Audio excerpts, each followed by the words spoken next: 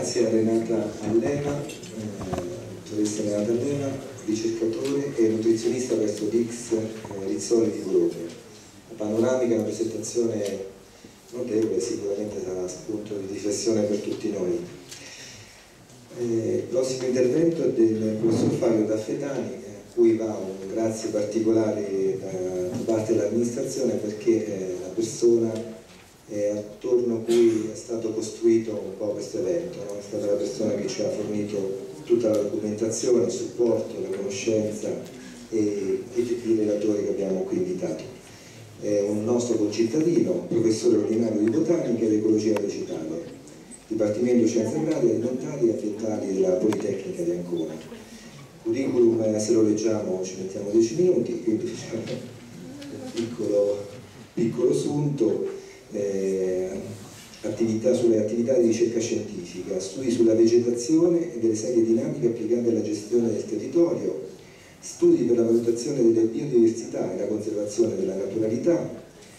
e attività svolte nell'ambito di progetti di ricerca finanziati a CNR, dall'Unione Europea, dalla Regione Marche e da altri enti territoriali.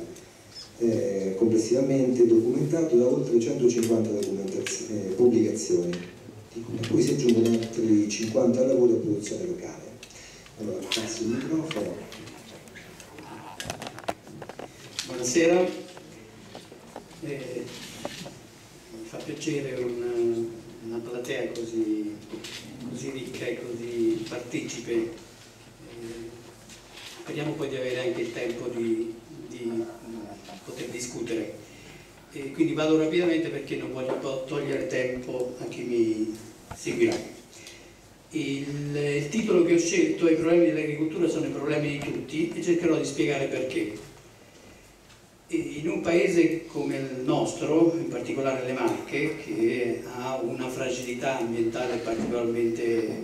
vistosa e una ricchezza ambientale altrettanto importante, la diversità costituisce appunto un valore assoluto, al pari del patrimonio storico, architettonico dei beni culturali. Ogni attività economica, industria, turismo, stessa agricoltura, deve essere valutata prioritariamente su base delle ricadute ambientali. Ormai di questo, cioè io speravo che effettivamente la, la crisi economica ci avesse diciamo, spinto a riflettere su questo. Devo dire che fino adesso non c'è stata questa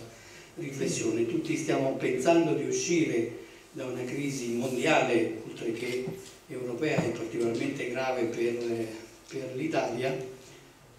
solo con piccole ricette, con, eh, con, piccoli cambiamenti.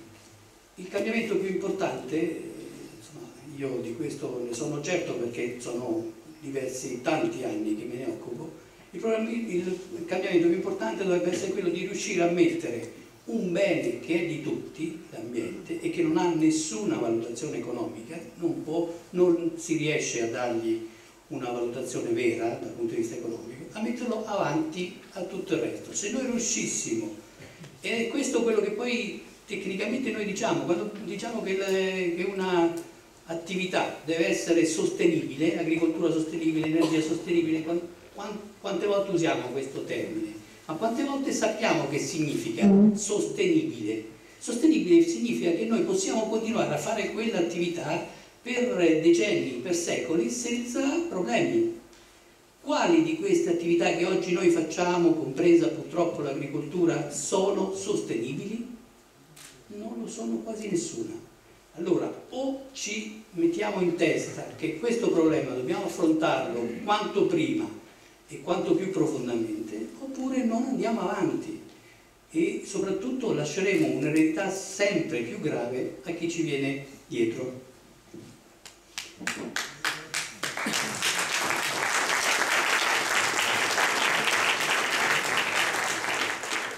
Una piccola riflessione sull'agricoltura. L'agricoltura praticamente si è fermata agli anni 50, al dopoguerra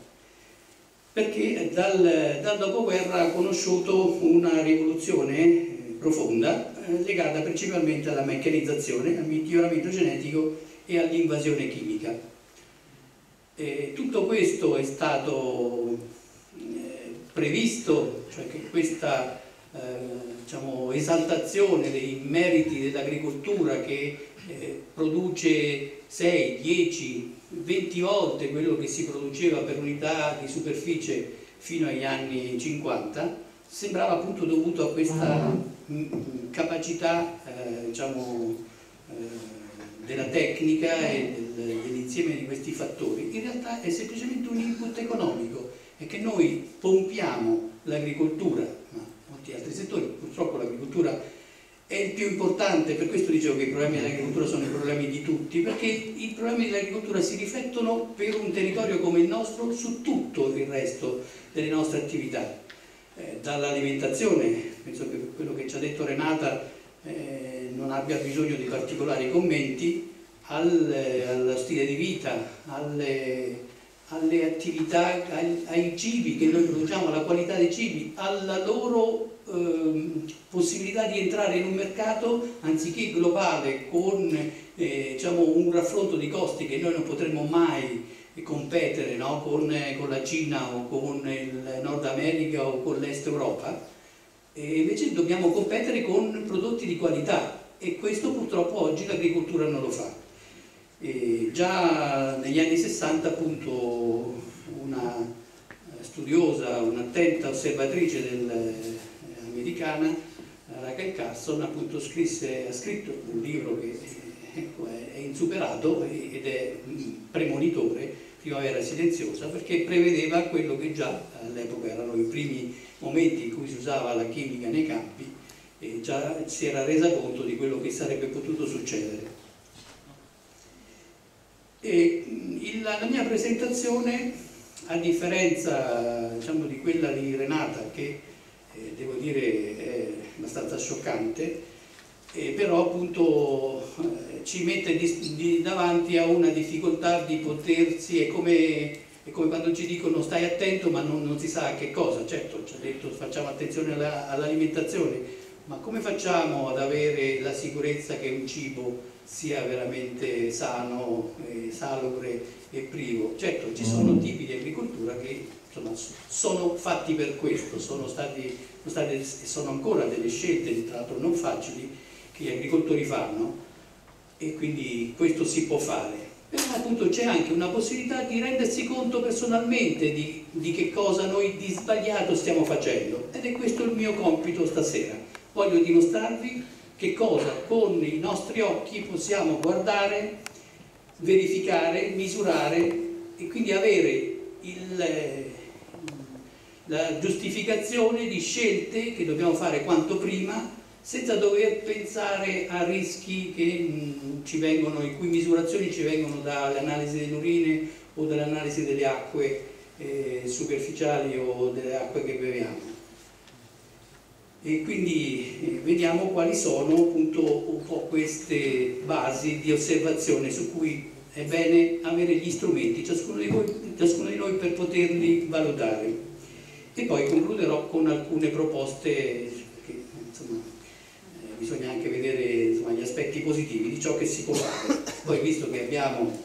diversi sindaci, eh, sentiremo appunto delle esperienze positive che sono già state realizzate e che, di cui possiamo quindi prendere, prendere atto. E devo dire che questo è eh, una, diciamo, una recente trasformazione della nostra società, cioè questa eh, de delega che, sta, che, è iniziata dal, eh, diciamo, da, da, una visione centralizzata del, delle attività diciamo, di programmazione e anche di tipo economico, dallo Stato alle regioni, dalle regioni alle province, dalle province ai comuni, adesso ha fatto sì che appunto i comuni praticamente hanno quasi tutte le competenze non hanno né personale, non hanno né, né fondi, non hanno competenze, però si trovano tra capo e collo questa responsabilità e alcuni sindaci hanno trovato la forza e la, e la capacità di realizzare delle scelte importanti e vedremo quali sono.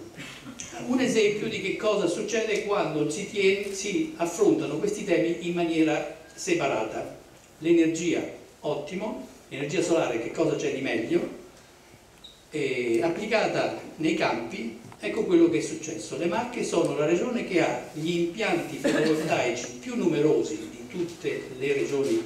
italiane e la media delle dimensioni degli impianti la più alta.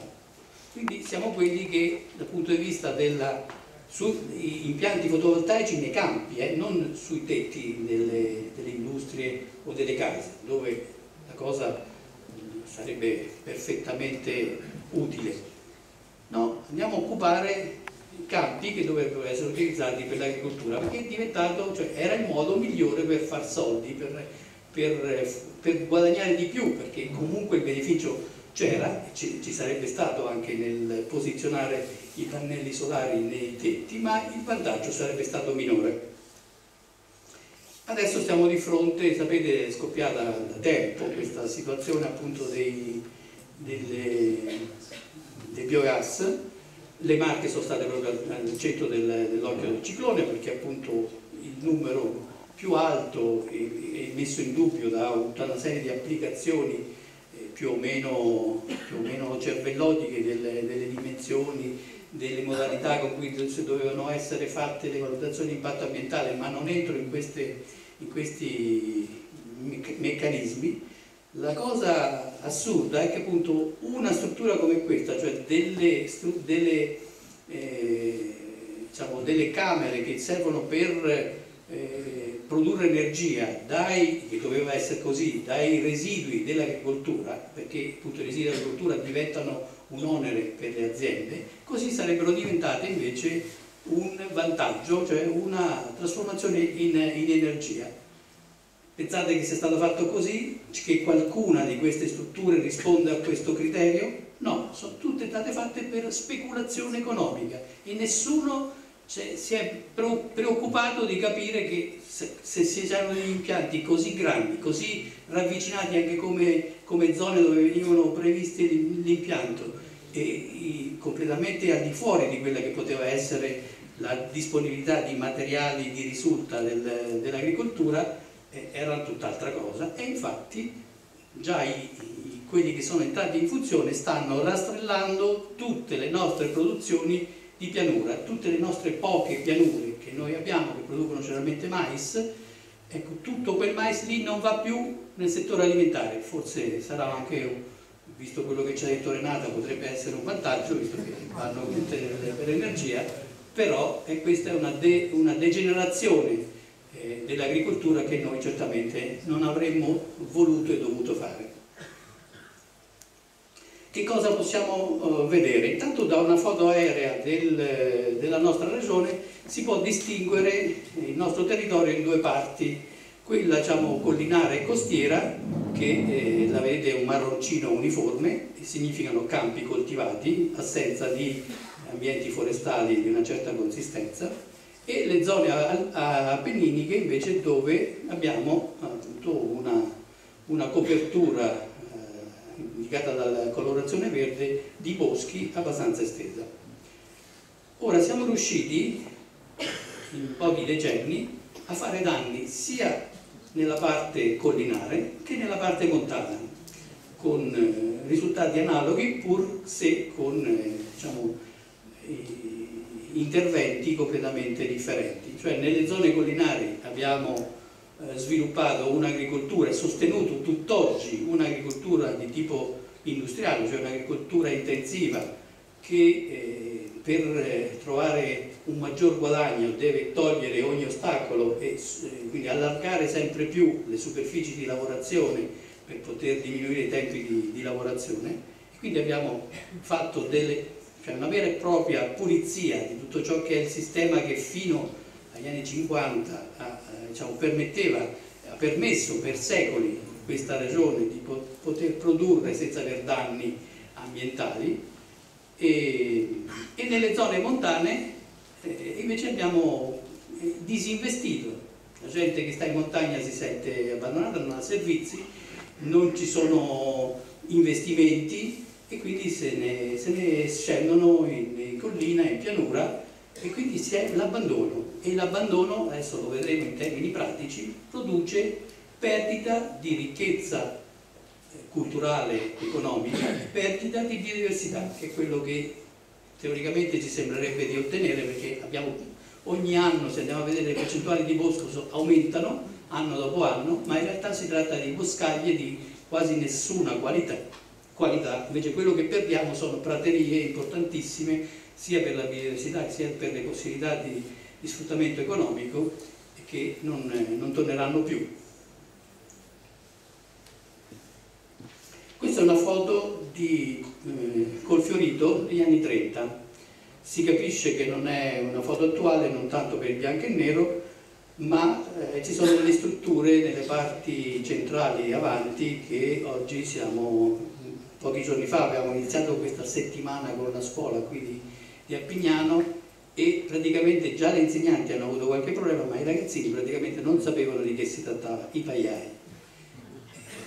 Per chi ha insomma, una certa età come me, insomma, sono una cosa, una cosa banale, eppure eh, questo cioè, ci dice che appunto eravamo in una situazione ambientale diversa, non che dobbiamo tornare indietro, ma dobbiamo prendere dall'agricoltura degli anni 50 perché era il massimo della capacità produttiva vera, cioè fatta con l'energia solare, l'energia diciamo, manuale dell'agricoltore e l'energia animale, quindi senza nessuna altra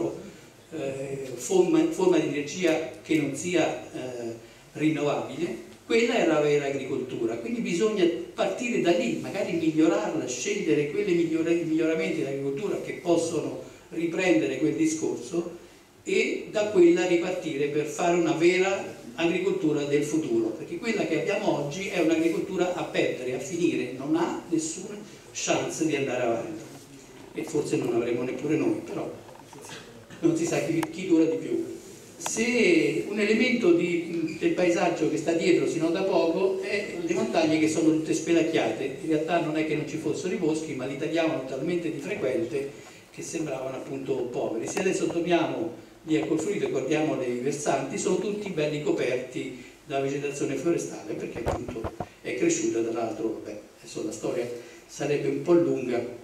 Se andiamo nelle zone collinari, questo è il paesaggio, siamo nella valle, parte, nella valle del Musone, nella parte terminale, si vede il Conero sulla sinistra all'orizzonte, mh, era un paesaggio completamente diverso da quello attuale e non era un paesaggio dovuto a ignoranza o al fatto che non si potessero coltivare grandi superfici, ma era già stata fatta questa esperienza nel, nel 400, nel 500, soprattutto nel 500, quando si è avuto un aumento della popolazione, quindi una richiesta di alimenti molto più elevata, si è iniziato a fare la coltivazione del grano su grandi superfici. Tutta la zona, la fascia dalla Toscana, la Romagna e le Marche e il Molise hanno avuto problemi di eh, frane che hanno inghiottito interi, interi paesi. E si è resi conto che quel tipo di agricoltura su grandi superfici non poteva essere fatta, doveva essere diciamo, alternata l'agricoltura a situazioni che mantenevano il terreno senza modificarlo. E quindi c'era questo sistema con le, con le, alberate, con i filari alberati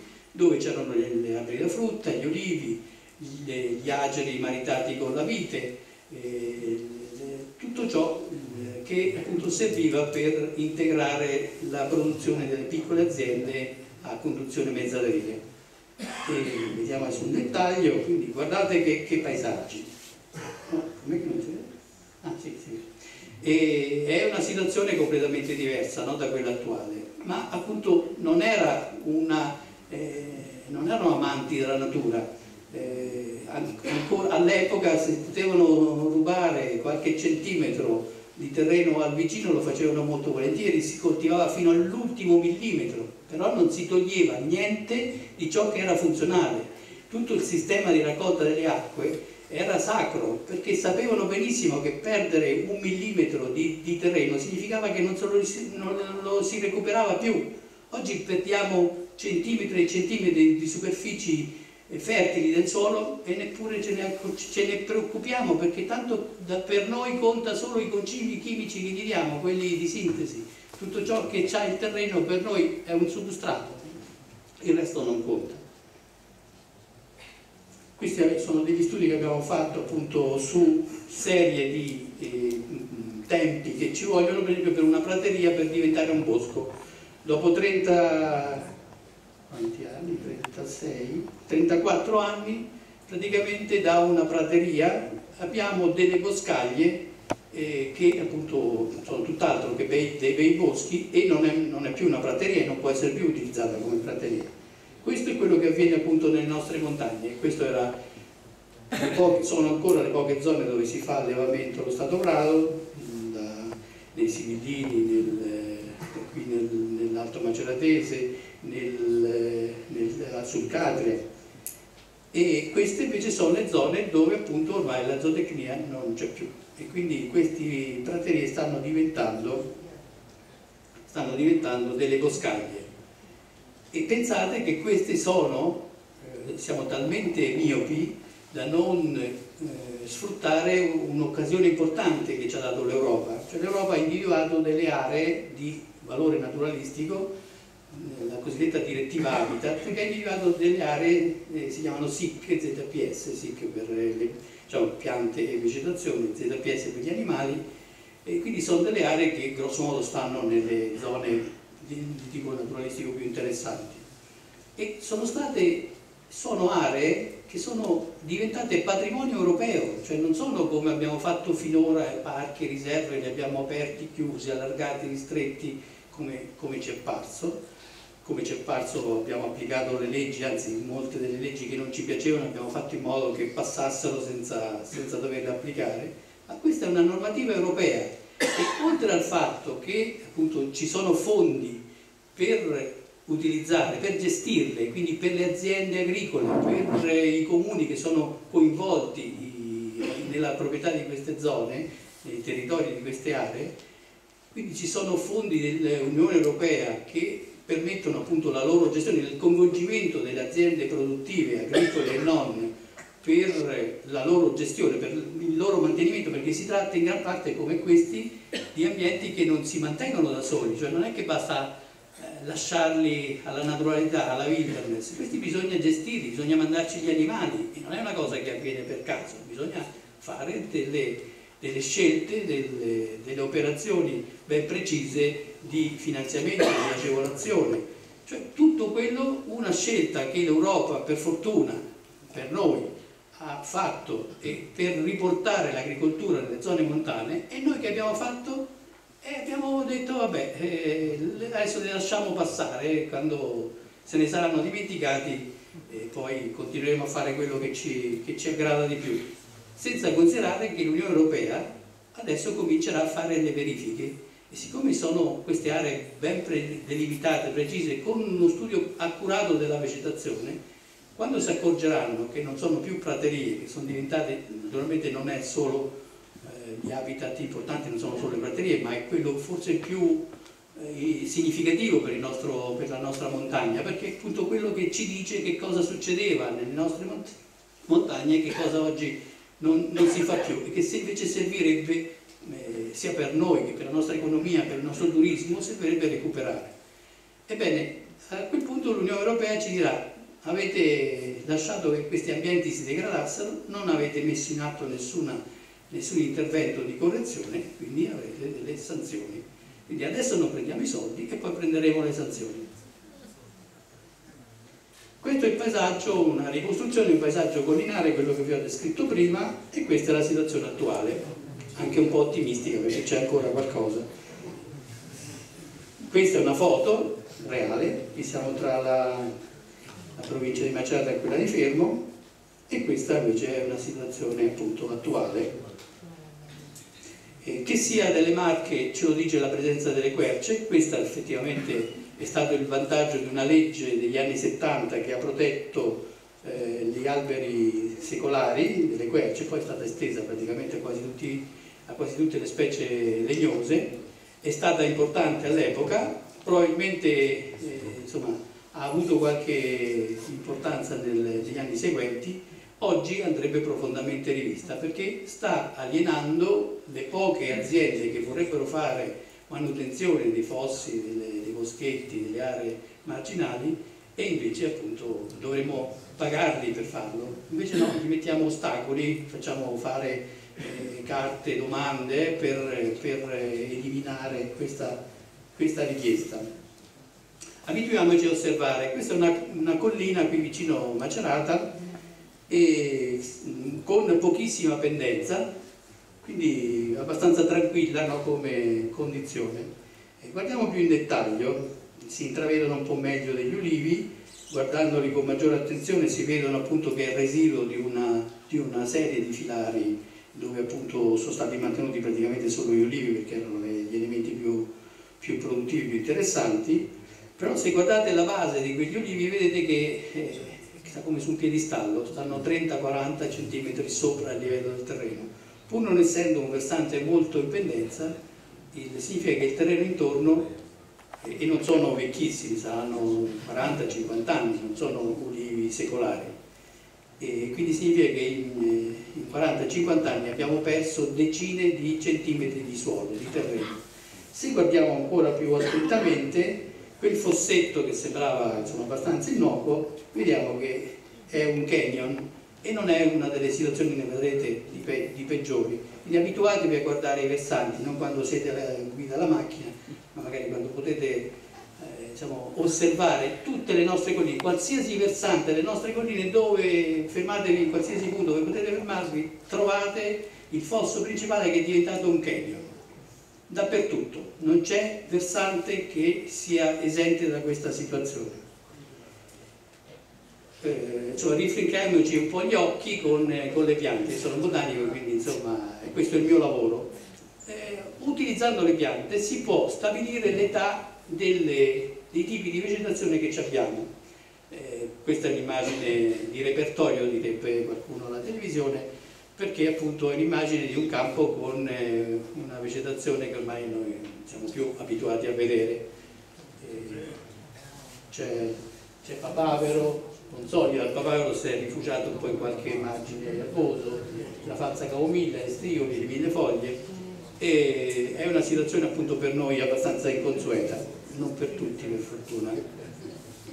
Se andiamo in un campo abbandonato da uno o due anni, troviamo eh, una diffusione di alcune piante, sempre annuali e bienni, in questo caso una pianta molto interessante dal punto di vista alimentare, le crispigne. È una pianta che diventa invasiva, appunto può stare ai margini dei campi, ma appunto se un campo viene abbandonato per, eh, e quindi non viene lavorato, troviamo questo, questo bel regalo. Se passano 5-6 anni troviamo, arriva la carota, la carota selvatica, che anch'essa è una pianta alimentare, la rosetta si può mangiare in insalata cotta con, in, come verdura cotta con le patate per esempio e eh, la radice anch'essa è commestibile, soprattutto appunto, è molto più saporita anche se una consistenza naturalmente non pare quella del... Se passano 10-15 anni troviamo una, una, fioritura che si vede bene nella tarda estate dei cespugli che fioriscono appunto tardi, a fiori gialli, una composita che se si tocca è appiccicosa, eh, infatti si chiama l'enula, eh, eh,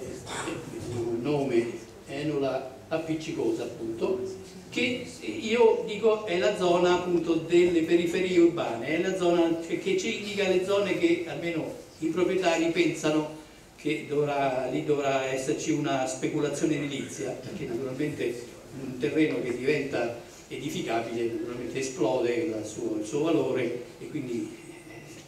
perché non tentare di, di fare dato? Quindi questa è la, la, pianta delle periferie di qualsiasi area urbana, piccola o grossa perché tanto dappertutto dobbiamo continuare a costruire. Se passano una ventina, trent'anni, allora abbiamo quello, delle vegetazioni che sono molto, purtroppo diventate molto rare, possono trovarsi anche lungo le strade, ma devono essere particolari condizioni, oppure nelle aie delle case coloniche, con una pianta molto interessante, facilmente riconoscibile, che è il ranuncolo. Sono due specie che convivono e formano tappeti a maggio-giugno proprio completamente fioriti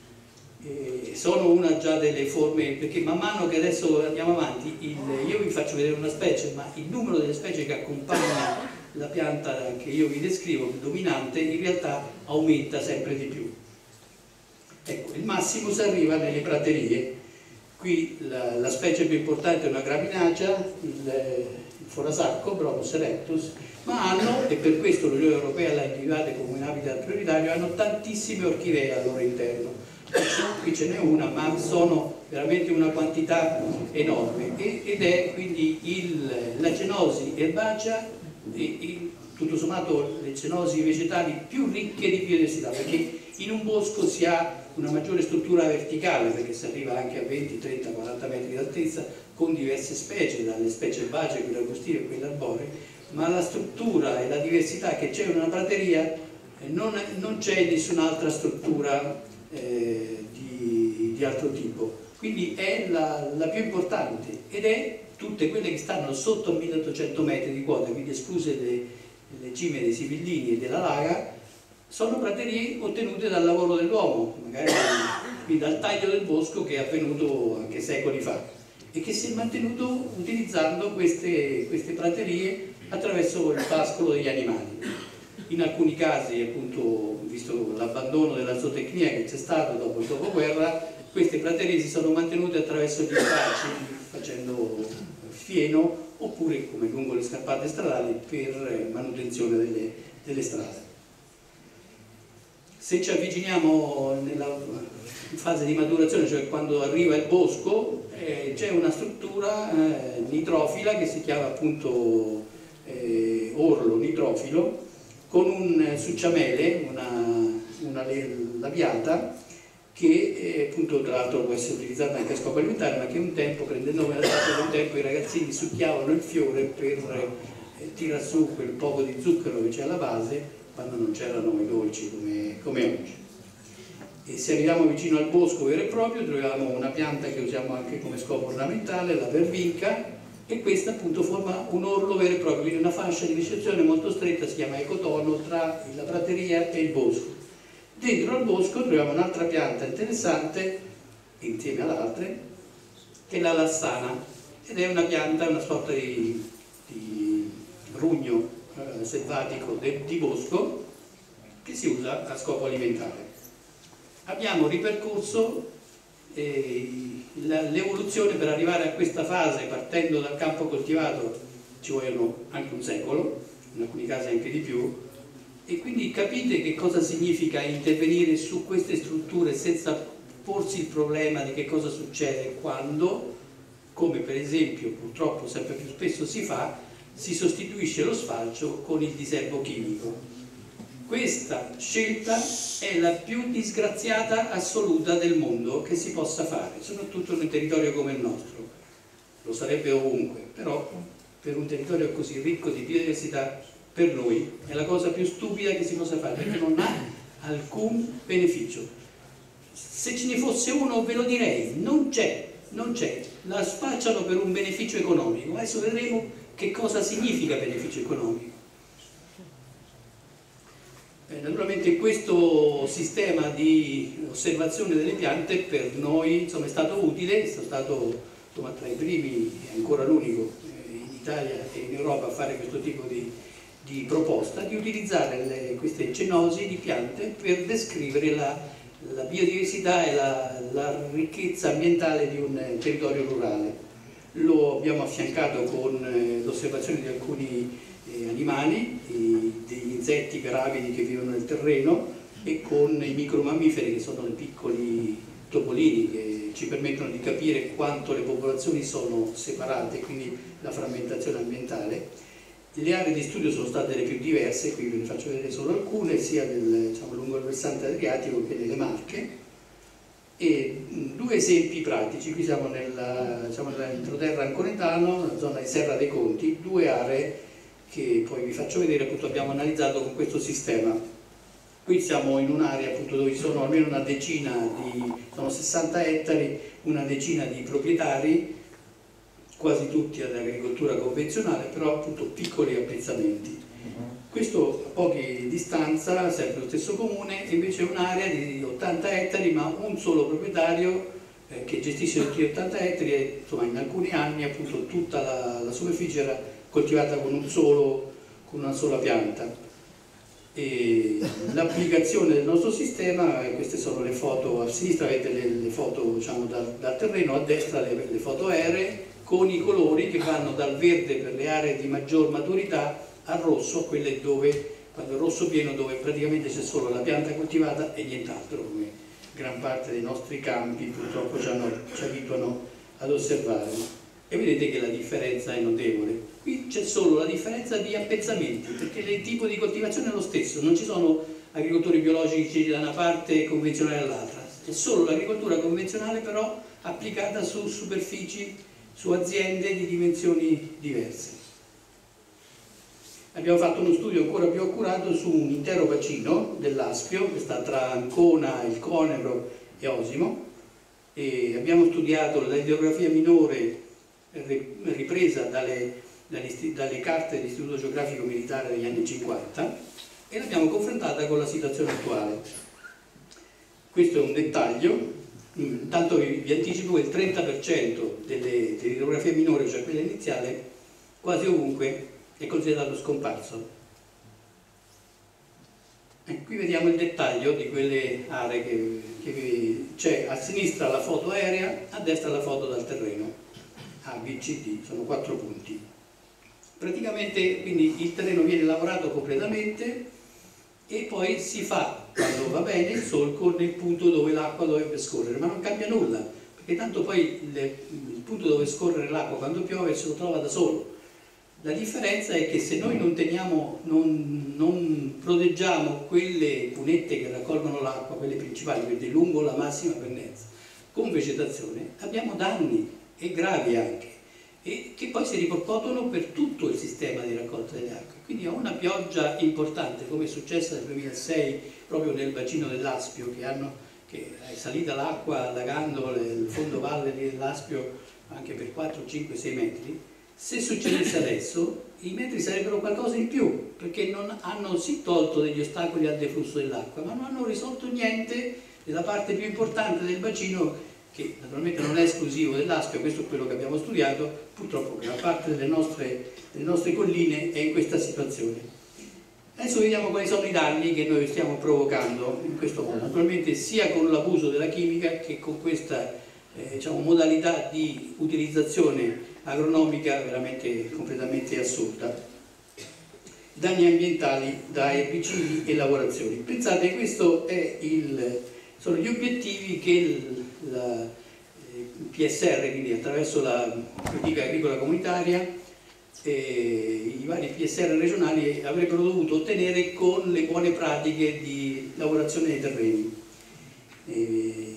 proteggere il suolo, mantenere i livelli di sostanza organica, proteggere la struttura del suolo, mantenendo le, le, mantenimento dell'ecosistema, evitare il deterioramento degli habitat, proteggere e gestire le risorse idriche. Questo addirittura appunto è la foto che il Ministero ha messo per spiegare agli agricoltori come dovevano fare le lavorazioni terreni. Cioè la, la, la condizionalità è un, è un, collo di bottiglia che tutti gli agricoltori che fanno eh, produzione sul terreno debbono rispettare per poter accedere a qualsiasi misura eh, del, del, PSR, del, del, eh, dei pagamenti dell'Unione Europea. E questo appunto è tratto dal manuale. Le, i fossi acquai temporanei non devono essere più di 80 metri, e, però non c'è nessuna indicazione del fosso principale, cioè il fosso principale semplicemente viene descritto ma non, non cosa, come bisogna gestirlo. E questa che è l'immagine che dovrebbe essere l'esempio, presenta già nella parte basale appunto erosione, perché tanto se in un versante il fosso principale non viene protetto dalla vegetazione non c'è bisogno di boschi che lo proteggano, basta veramente poco, basta una vegetazione erbacea, purché ben strutturata, e questo permetterebbe appunto di svolgere tutta una serie di funzioni, quello di rallentamento dell'acqua, eh, depurazione, abbattimento della sostanza organica, eh, cioè sono biodiversità, eccetera, e che ci permetterebbe appunto di avere tanti di quei benefici che invece noi ci perdiamo completamente per, mantenendo questi nostri versanti in questo modo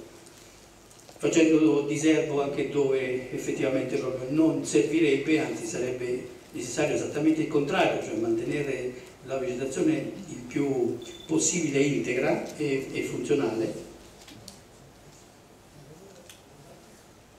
E questo appunto, il risultato finale appunto, è una profonda alterazione di tutta la rete idrografica e di tutti gli habitat. E, erosione sempre più diffusa, E, tra i danni che possiamo, appunto, che abbiamo già in, insomma, in qualche modo anticipato c'è la, la perdita di tutta la flora cosiddetta commensale dei campi, tutte quelle piante che hanno convissuto per decine di migliaia di anni con i grani selezionati dalle, dalle steppe asiatiche e, e, in poche decine di anni le abbiamo completamente eh, eliminate. Sono tantissime le piante, oltre al fiordaliso, le faccio vedere rapidamente, e questo invece è il risultato quello che avevamo fatto lì all'Aspio. Queste sono le piante che sono scomparse nelle, nelle aree agricole coltivate e queste sono le specie invece che sono aumentate, Ailanto e Rovinia e poi tutta una serie di graminacee che sono diventate invasive, tra l'altro alcune di queste anche resistenti al, ai diserbanti. Altri danni da uso improprio, qui siamo in Toscana, anzi in, in provincia di Verona, quindi in Veneto, eh, un, questa è un'area SIC, un oliveto SIC, eh, cioè, vedete con, con, muretti a secco, quindi una, una situazione veramente fantastica, fatto il diserbo, qui siamo in Toscana, un avvenimento del tutto gratuito, non l'ho diciamo, presa in dettaglio questa perché ci sono due caprioli che si stanno muovendo in questo deserto dei Tartari, e, però appunto per, per capire che quel, quelle zolle che si vedono significa che il terreno deve essere ancora raffinato prima di essere seminato quindi si poteva benissimo evitare di fare quel diserto siccome ci sono cioè, benefici per chi produce queste sostanze quindi siccome chi spesso appunto lavora eh, per, per, conto terzi cioè per, per le industrie i nostri campi appunto prende i calendari e le modalità di di intervento per buoni, anche se appunto molto spesso non si vede. Quindi l'abuso che se ne fa di queste sostanze, naturalmente sarebbe importante cambiare completamente tipo di coltivazione, ma sicuramente alcune, alcune pratiche, tenuto conto del fatto purtroppo che il glifosato, che avete sentito prima, che è il, più, il diserbante più comunemente utilizzato, è una sostanza che viene spacciata, tutti gli agricoltori sono convinti che sia innocua, in realtà non lo è per niente. E tra l'altro se ne usa talmente tanto che sta facendo danni ovunque nel mondo, non solo da noi, però certo intanto pensiamo a noi, ognuno penserà per i suoi territori. E si potrebbe benissimo non fare, cioè non ha nessun beneficio, soprattutto tutto quello che viene dato fuori dai campi non, non, se, non serve assolutamente a niente, si può ridurre di molto anche quello nei campi, addirittura si può eliminare con le rotazioni, con i cambiamenti culturali, gli avvicendamenti e quindi sarebbe, noi potremmo fare un'agricoltura molto più sana, più vantaggiosa anche dal punto di vista economico per noi e, e soprattutto molto più salutare. Tutto insomma, tenendo conto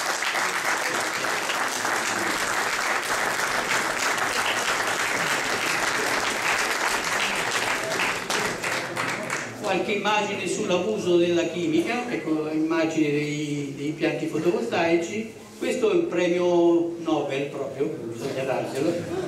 un apicoltore che ha fatto il diserbo sotto le arnie, questo ad Offania. Ecco, quello che viene spacciato, purtroppo abbiamo una provincia, quella di Ancona, che fa uso del diserbo lungo le strade, quindi proprio nei punti dove noi camminiamo e con le macchine. Ecco, questo è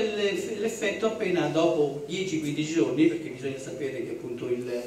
l'effetto sulle piante si manifesta solo dopo 10-15 giorni, quindi c'è il rischio per chi va a raccogliere gli asparagi in zone tranquille o così ritenute se l'agricoltore ha fatto il diserbo al margine del campo si può andare a prendere un asparago al glifosate che sicuramente è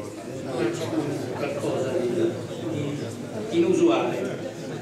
Ecco, dopo aver fatto questo intervento bisogna fare lo sfalcio e viene fatto lo sfalcio, quindi al posto di uno sfalcio vengono fatti due interventi, uno di riservo e uno di sfalcio. È vero è che quello successivo diciamo, si dilaziona nel tempo, però per esempio quest'anno in provincia di Ancona hanno fatto quattro interventi di, serbo, uno a dicembre, a dicembre sta fatto di serbo, tre di questi seguiti da sfalcio. ditemi voi se questo significa risparmio. Ve lo dico io che cos'è. Praticamente hanno mantenuto le spese ordinarie più o meno allo stesso livello, però hanno decuplicato le spese straordinarie perché quando le strade non più trattenute dalla vegetazione franano, allora a quel punto nessuno lesina i soldi per andarle a ripulire, a rimettere a posto e quindi tutto quello che si spende in interventi straordinari sono tutti soldi che questi si gestiscono allegramente, che, che arrivano e altrimenti non sarebbero arrivati in una gestione oculata. Ma questo però è una degenerazione che non possiamo accettare. Qui siamo a Montefano, una strada che da Macerata va verso Montefano, a settembre 2008 mi sono accorto di questo, qui era un agricoltore che ha fatto questa bella pensata di allargare il diserbo anche alla scarpata. È una scarpata di 5-6 metri, molto in pendenza e io mi immaginavo che ci sarebbe successo qualcosa e questo è quello che è successo. Se voi passate lungo quella strada, sta sotto il cimitero di Montefano, la strada che va verso Macerata, vedete che quella è sempre in frana, ormai c'è una ruspa della provincia posteggiata perché tanto ogni, ogni pioggia quella deve essere ripulita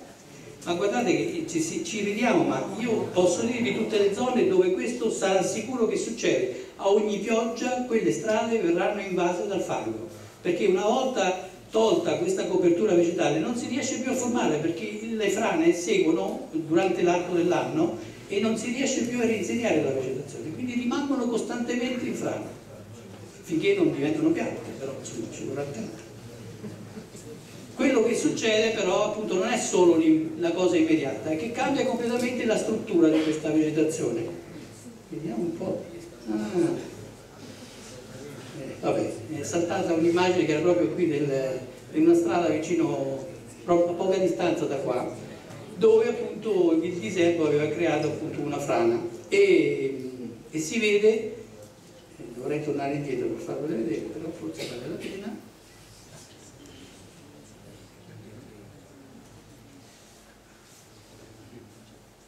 No, proprio andata via. Ah, beh, perché ho tolto, no, no, ho tolto tutta la, la slide.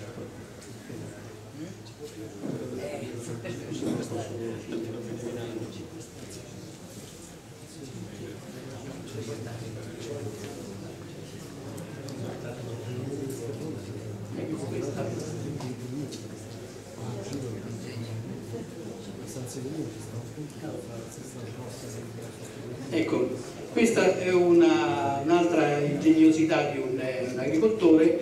che, vedete, c'è il campo che è arato, eh, proprietà, insomma, il proprietario ha interessato la fascia di, di sua competenza, non di sua pertinenza del, della scarpata, per fare diserbo.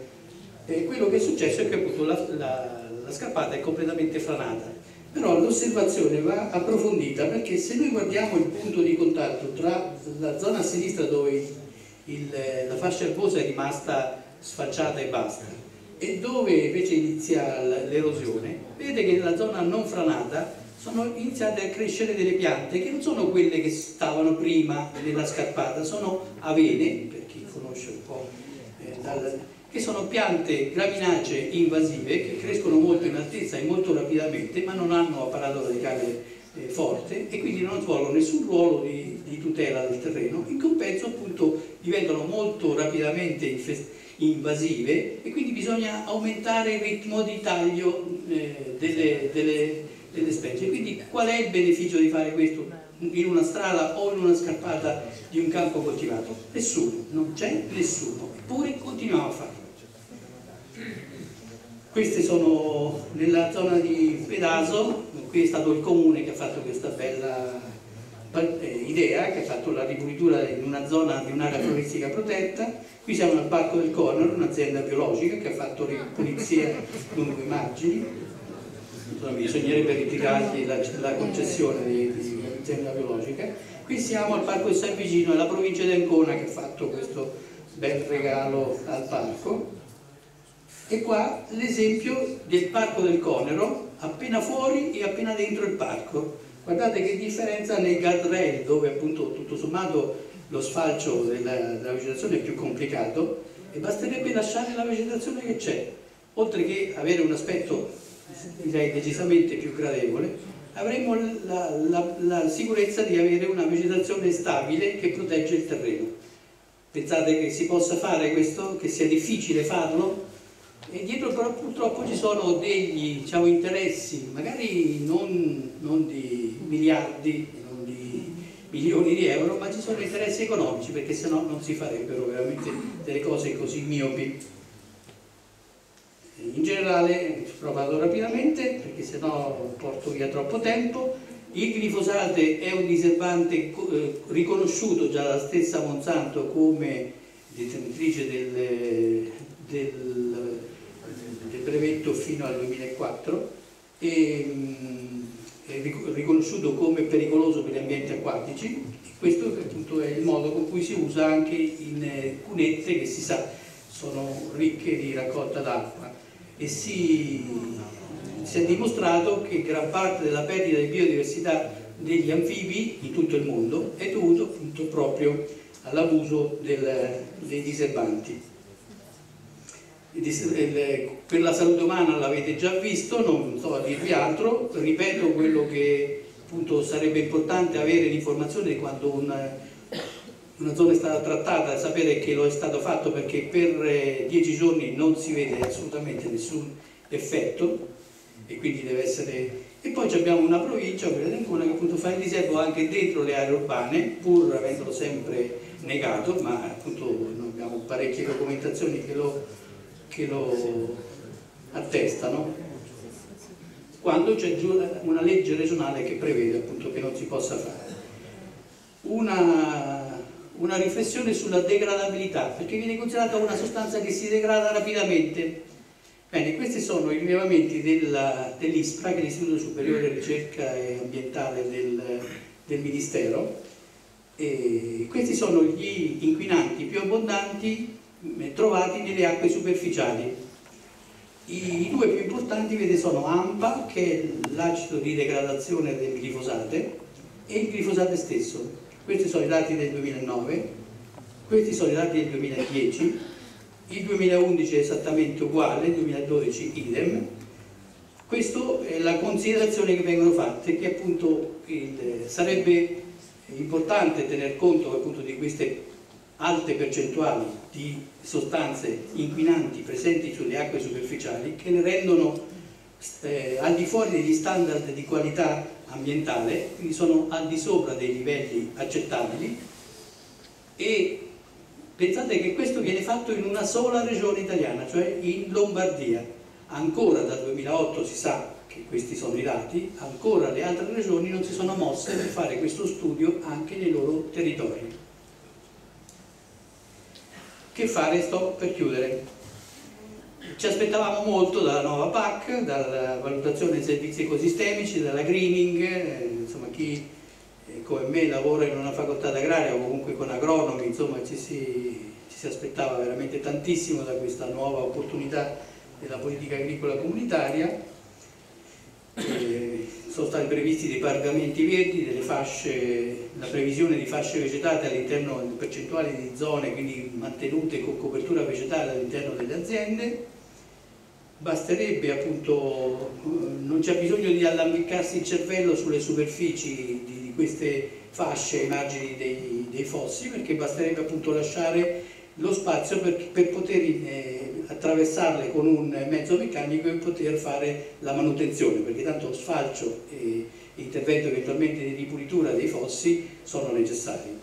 Quindi non c'è bisogno di particolari condizioni ma pensate che cosa sta emergendo eh, la, nella furbizia dei nostri, dei nostri, delle nostre aziende. La pressione ha fatto sì che eh, nella nostra regione le aziende vengono valutate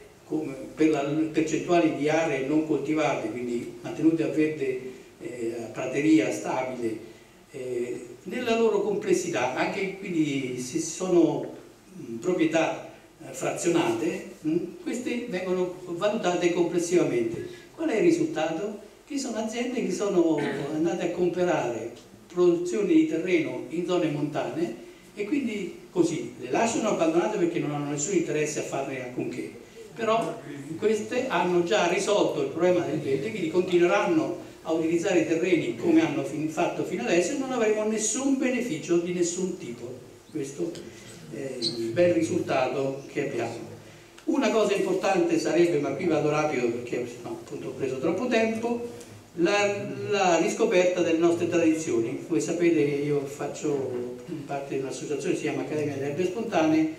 e cerchiamo di rivalutare appunto le grandi tradizioni che, si, che eh, sono state tramandate eh, da madre in figlia eh,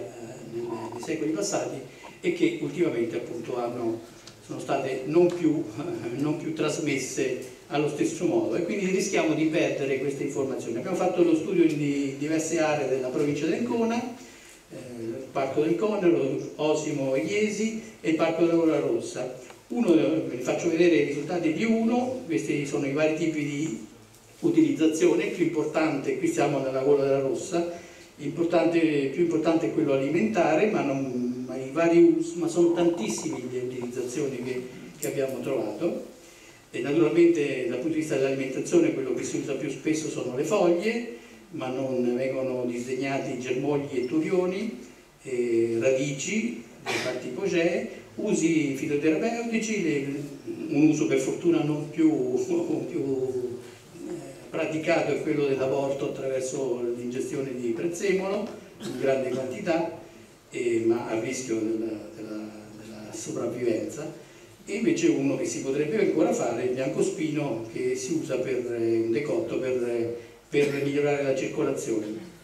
I sussurrogati del tabacco sono tantissimi, le foglie del, della canna, della, eh, della um, vitalba, della roverella e quella della vite, venivano arrotolate, addirittura della vitalba si prendevano i rametti e si fumavano come sigaretta.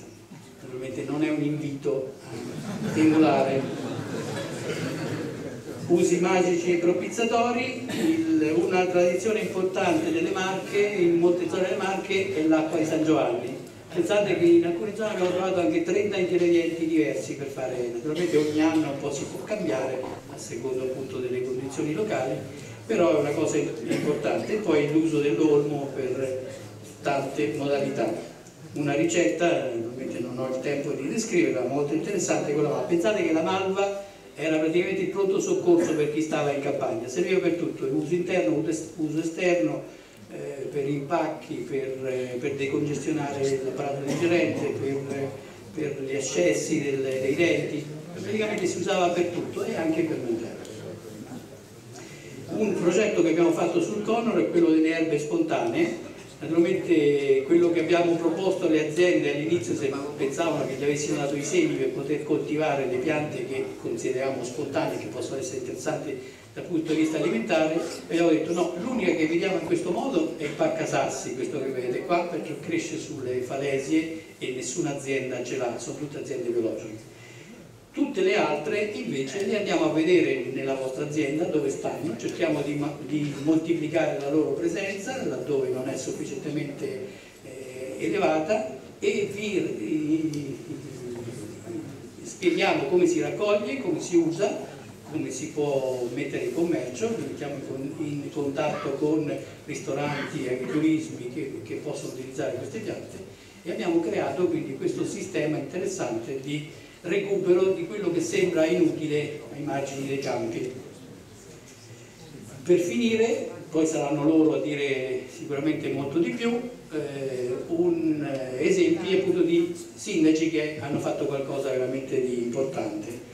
Per eh, Malosco, il comune di Malosco di Val di Non, eh, il sindaco Marini che è qui dietro di me, ha fatto un regolamento che prevede appunto dei limiti all'uso dei, dei dei limiti diciamo, di rispetto all'uso dei pesticidi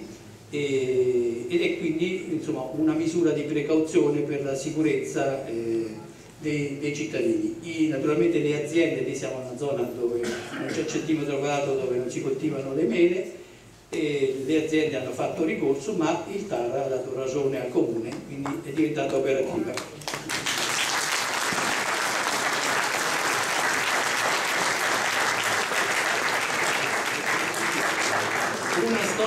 Invece che non ha avuto un lieto fine, iniziata con un, una situazione eccezionale a settembre scorso, eh, c'è stato un referendum a Malles, siamo sempre in Trentino, eh, in cui il 75% delle persone è andato a votare e di questi 72 hanno detto no ai pesticidi.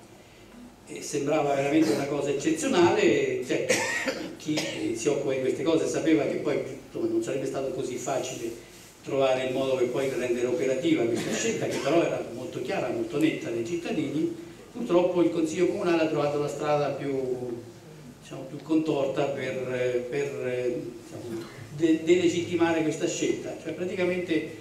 hanno, non hanno votato, non hanno, non hanno, raggiunto il numero sufficiente di, di sì da parte dei consiglieri e quindi è decaduta la, la, la, scelta. Adesso non so se sarà recuperabile o no, però certo che veramente è un colpo alla, alla democrazia, perché se la maggioranza della, della popolazione di, una, di, un comune dice che non vuole più i pesticidi, l'amministrazione che da cui i cittadini è stata votata non può esimersi da prendere in considerazione eh, le soluzioni più adatte. Abbiamo una soluzione bellissima, una proposta bellissima da parte del sindaco Gios del, eh, e preside della facoltà di economia dell'Università di, di, Trento a Vallarza. questo comune montano eh, è stata proposta un'inversione della prova, cioè non è l'agricoltore biologico che deve dimostrare di non aver usato i pesticidi, ma è l'agricoltore convenzionale che deve dimostrare di non aver fatto danni. E,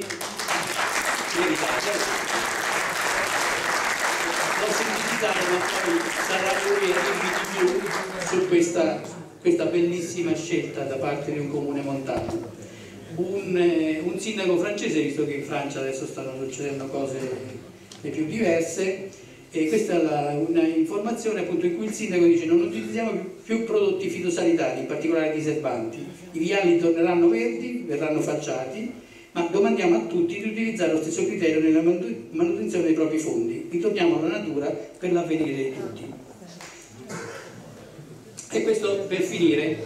guardate questa immagine, siamo in un una, eh, terreno proprio qui vicino, versante di fronte a questo lato, e c'è, eh, sono due agricoltori che hanno insomma, tutte e due abbastanza diciamo, usi a fare diciamo, lavorazioni andanti e forse anche abuso del, dei pesticidi, dei, dei, diserbanti, però quello di destra eh, proprio appunto non ha avuto alcun, alcuna remora e quindi quello è l'effetto di, di lavorazioni e diservo anche lungo il fosso. Quello a sinistra ha già avuto forse un ripensamento all'ultimo momento, forse gli si è finito il tempo o la, o la benzina, la diesel, è rimasti pochi centimetri di terreno, tra l'altro coperto da vegetazione, ma una vegetazione annuale, quindi non particolarmente ricca di apparato radicale, eppure guardate il risultato. Quindi pensate se noi abbiamo tutti i fossi coperti da vegetazione che cosa riusciremo a ottenere in un, un insieme di aree collinari come le nostre particolarmente fragili e, e come sono appunto le, le colline della nostra regione. Grazie.